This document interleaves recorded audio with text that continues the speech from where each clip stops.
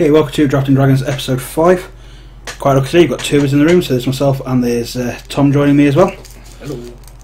Uh, so, pretty uh, pretty evil first pack to be fair. Um, the Harbinger of the Hunt just wins games. Um, but then there's also Flattened Pacifism and Epic Confrontation in the pack. It's uh, quite a quite a tough call. Tom, what are you going for here? I've got the Tricho. It is pretty awesome. Yeah. Does mighty, mighty powerful things. See if we can see it a little bit bigger. There we go. But if we can get to activate the abilities on it, it can just do some nasty stuff. Um, but the amount of other hard removal in this pack is quite scary. I'm not a massive fan of playing red green either, so we're not sort of locking into that so early. Fair enough. With my place, I would probably, I would normally take maybe the pacifism. I like the red white decks in this format, and then we hit Gleam of Authority, which would have been amazing. Um, we've gone from an amazing pack to an absolutely mediocre pack. I mean, the best card by far in this pack is the Gleam of Authority because if you can get this going, it's just nuts. Um, Circle of Elders is okay. It fits in well with the Harbinger, Harbinger of the Hunt. Everything else is pretty, pretty meh, to be fair. Uh, I'm going to take the Gleam. I'm just going to take, keep taking the best card in the pack, and then we'll sort it out later. Yep. We have seen two evolving wild so far, so we might get one back and be able to play three colour.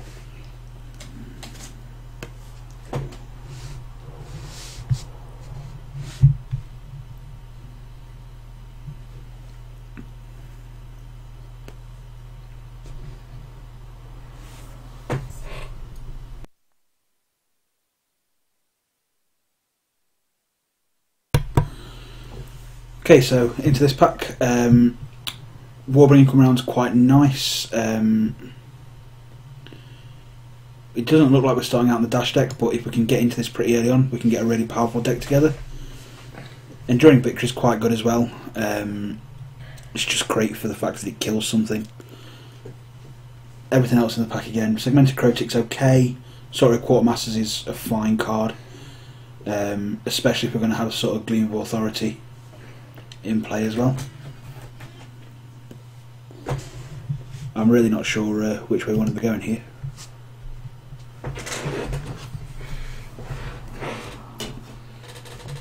Should probably try to make a decision. Um, I do like the dash deck, and we haven't passed anything significantly dashy yet. I don't think.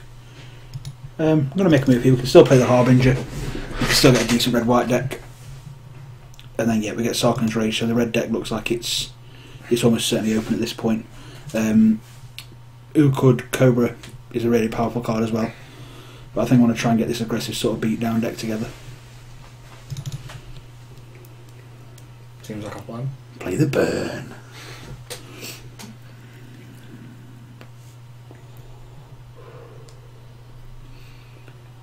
If I can pick up um, another Warbringer and a good Mammoth Scale Shamans, then we're just in business. Hmm.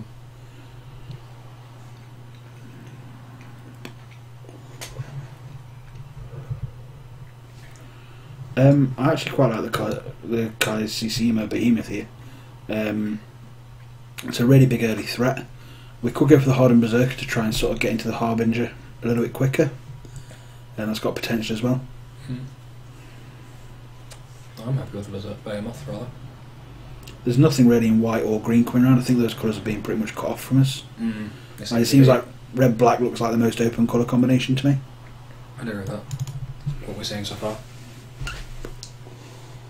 And then we see a pack that has absolutely nothing of use in it. Uh, Rending Volley's not bad for the sideboard. The aiming tactician's okay. I'm not really interested in looking at Mind Rock. I don't, Mind Rock. I don't think that's the sort of deck we're going to be playing here. Fair enough. We'll take a volley for the sideboard. Get rewarded for the early pick by getting the Hardened Berserker anyway. Ooh. Yep, Dragon Tempest is okay if we're playing a lot of dragons, but we're not Mm. at the minute.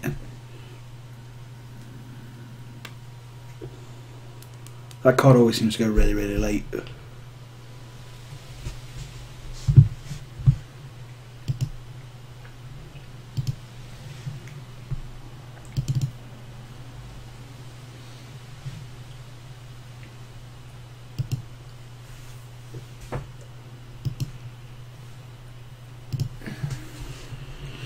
Okay, Enduring Scale Lord. Um, nah.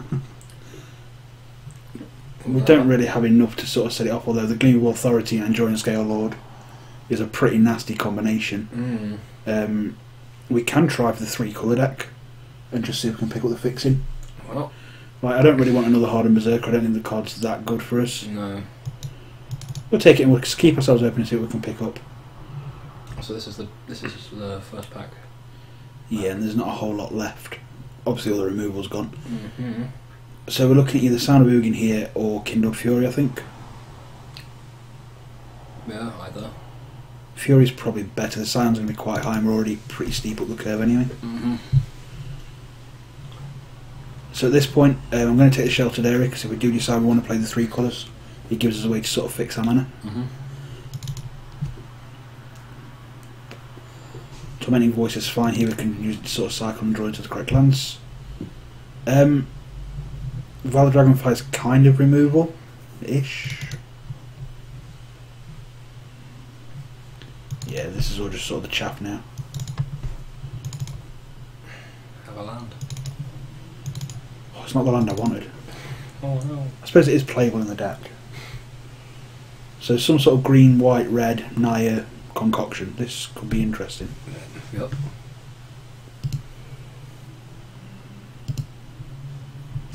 And we get an Alish in the foremost, so we're almost certainly going to go into white. Um, cards to note, ultimate price in the pack. Um, Light Walker, Misthoof Kirin. We keep opening really good packs. Mm. How are we looking for warriors? You've got the Behemoth, haven't you? That's about it. The Behemoth a warrior. Yeah, we've got a few berserkers. Like giving one of our dragons double strike though can just win. Although it's not a warrior, so it doesn't work. Yeah, I was gonna say. The Because Behemoth is maybe this isn't the best card here, Maybe not. but then we're looking at maybe a Misthoof Kirin.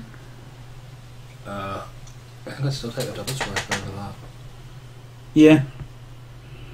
Like we can take the ultimate price, but we're almost certainly not playing it. It's going into too many colours for us. Yeah. We'll take the foremost, and we might pick up some more warriors as the draft goes on anyway. Yeah. Things like the Kolaghan Aspirants tend to wheel and things like that as well. Wow, black's open. From that direction. From that so- direction, yeah. Um, so here I think we do take the Light Walker because it is a warrior that we can trigger with Arashin. That makes sense. We might not just not playing the green here, especially with us now picking up a Dromoka captain. Are we playing red white bolster? Seems to be. Sabretooth Outrider is really good, Summit Prowler as well. Yeah. Not passing a captain. Alright, we're, we're going red white. Red white counters. That's the deck, right? I think so. Okay. Probably not. Eh, it'll be fine. Uh, a Twin Bolt quite late in the pack's really good for us. Nothing else in the pack really that I'm sort of interested in taking. Nope.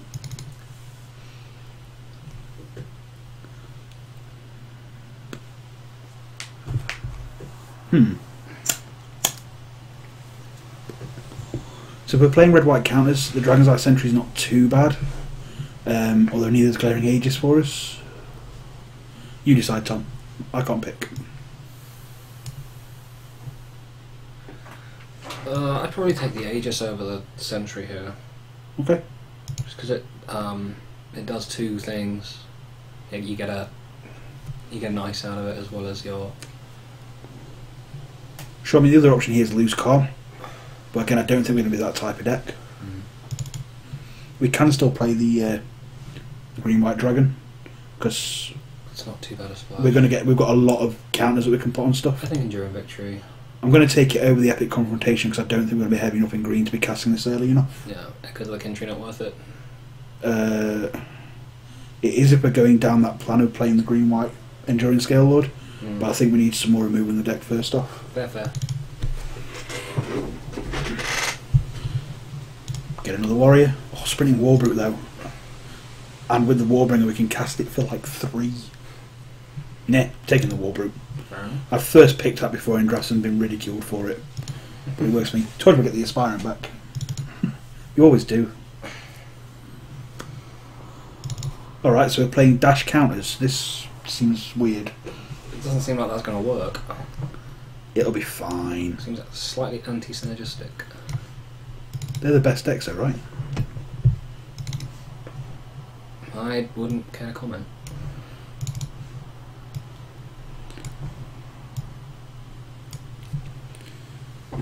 Thing is, like all of our dash cards, we can just cast them. Yeah. It sort of gives us two sides to the plan. And we've got a lot of things to put counters on stuff. Yep. What we really want to do is see another Enduring Scale Lord, but that, that mission's gone. yeah. Uh, take a Dragon Fodder here quite happily. Everyone else goblins. This is more of a four drop. Excuse me. So we pretty much have a playable deck. We're looking for like three more cards, so we can actually prioritize prioritize making uh, fixing for the next pack. Um, yeah, Impact Tremors probably not making the cut. Almost certainly not two of them, unless we get really really strong dash creatures in the next pack. Mm, Okay, we've got the Lose Calm anyway. that's fine then. And a relevant land. Yep. We've got all the relevant lands. Hey.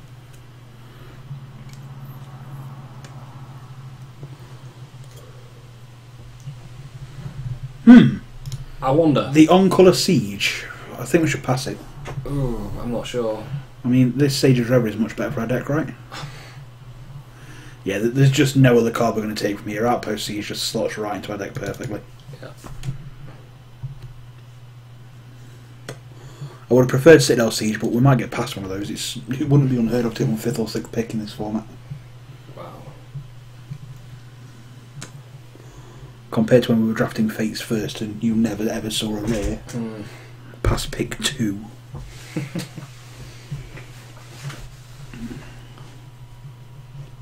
so we can actually use both modes on Outpost Siege because we've got quite a lot of dashmen. Yeah. Our creatures might leave the battlefield quite a lot. Um, okay, Pyrotechnics. Solid removal spell. Um, there is the Blossoming Sands as well, which would help us if we want to play this Enduring Scale Lord. But I don't think I can pass pass a Pyrotechnics. No. The Fiend Priority could hurt us a little bit, but I'm certainly going to hate draft at this point in the pack.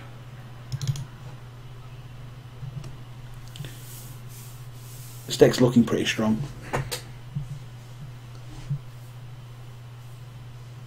It's not looking too bad.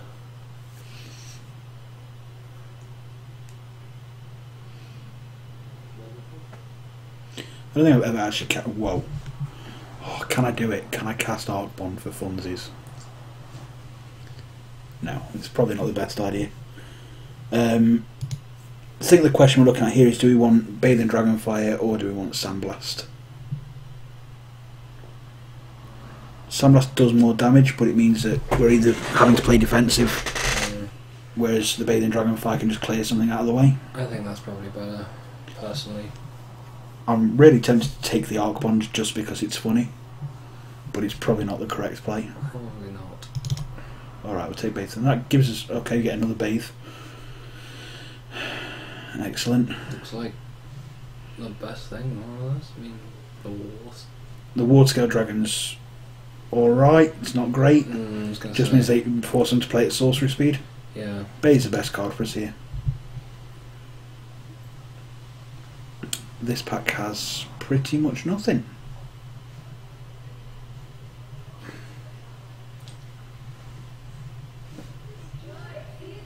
Um, there's nothing in the back for us. There's nothing I'm particularly worried about cutting. Uh, I'm just going to take the the Spirit Dragon and uh, get a little bit of value back out of it. Doesn't the Um, Wind-Scarred Crag sit here? Yeah, the Windscarred Crag's the unreal pick in this pack for us. Um, Abaddon Ranches is fine as a sideboard card, but I've got more interest in picking up the Crags. Rugged Highlands, is, again, is a solid pick. Um, there's also the Mardu Scout. Yeah. Like, do we want to play the Scale Lord? Is it just being greedy? I think it's being a bit greedy at this stage, isn't it? Yeah, well, we'll go with the dash plan. Just make some dashy men. Mm-hmm. do quite like being a base red deck. Uh, and we managed to pick up a War Flare. That's pretty good. Feels like winning. So we've got a really low curve, we should be quite fast. From this pack, we're not really playing any enchantments. I wish I'd taken the pacifism in pack one now. Hmm. We'll take a Mardu Room that we're definitely not playing, and we'll get a second War Alright, we're on that plan. We're going to make some men and turn them sideways. Sounds about right. We still have at least like two cuts to make from the pack as well, from the picks as well. Maybe it's just these combat tricks. Yeah. We got the Arc Bond back. Oh, Winning. Take, take it then. Just you know you want to. It's Arc Bond or Channel Harm, and I really want to cast Arc Bond tonight. I'm tired. I take the other one. Uh, collateral damage is fine for us here.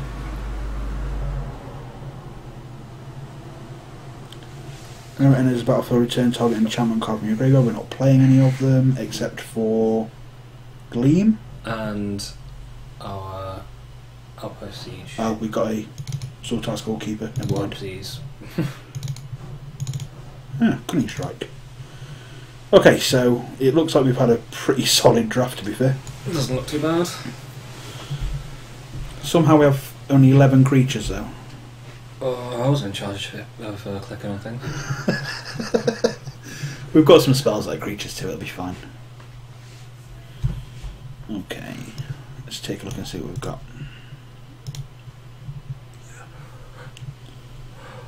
We don't actually have any creatures in our sideboard we can play either. Eh, oops. Okay, so Dragon Fodder is a creature. Um, Tormenting Voice, I don't think is where we want to be here. Like the amount of removal we have is just absurd. Yep. With Collateral Twin Bolt, two Bathes, um, Sarkhan's Rage, Pyrotechnics, and Enduring Victory. Are we maybe playing too much? Maybe. Do we cut the collateral? Possibly. And then do we put a. Oh, we. Yeah, we probably do, yes.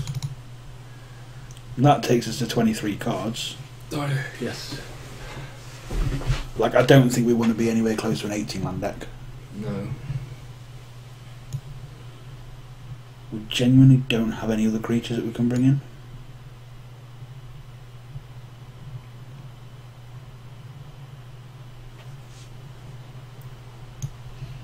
Hmm. We have got the Crucible, so splashing the dragons wouldn't be such a bad thing. No. Do you want it? Like, I'm just wondering how this looks. But for this, we're probably cutting Arc Bond. No, oh, I have to cut Arc Bond. Mm-hmm. That makes me sad. Well, we probably cut one of the War Flares as well. So this, we probably want to play two forests. Two forests, seven mountains, six plains. Mm-hmm.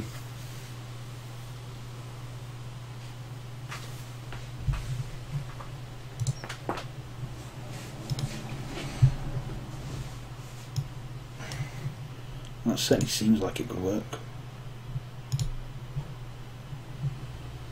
So this is a four drop. This is a two drop.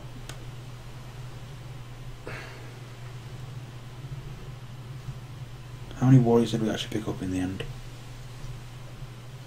One, two,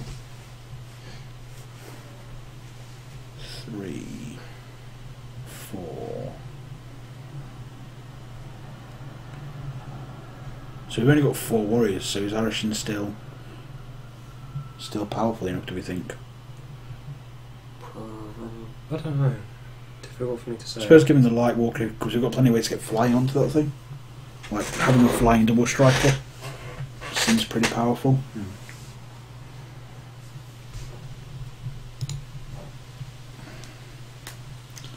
This is suggesting that we only play four plains. I'd, I'd go up on play the Dower Mountains and that. Like we don't have anything that's double red to cast except for Mardu Scout. Yeah. that feels like a much healthier split. Yes, I think that's better.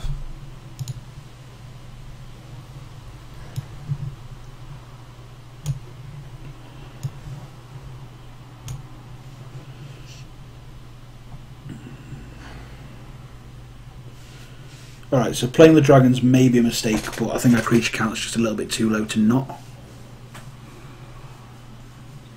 We're not really trying to massively ramp into anything, but sort of, uh, if we can get to Outpost Siege, we've got a lot of chances to draw the green sources, and the Crucible's going to help us to sort of get into those dragons as well. I think we're okay. I think we're good at that. Alright, we'll see you in a few minutes for round one.